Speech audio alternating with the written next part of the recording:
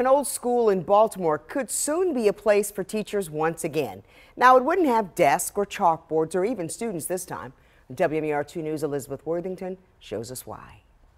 The graffiti, broken windows, and weeds. Evidence that a teacher hasn't stepped foot inside this school in more than a decade. That could soon change, but if teachers return here, it wouldn't be to work. They'll get the building, there'll be 30-ish um, apartments. Councilwoman Odette Ramos is one of the Baltimore City Council members behind a proposal to turn the former Waverly Middle School into affordable housing just for teachers and their families. This is a way to say, you know, if, if housing is an issue for you, let's make sure that that is not an issue anymore um, so that you can concentrate on being in the classroom and working with our kids. The lot next to the school houses a building that was formerly used for extra classrooms. That would be torn down to make room for a community green space and parking. Lots of people are really excited about it, not just teachers. That includes Laura Menyuk, who lives in the neighborhood.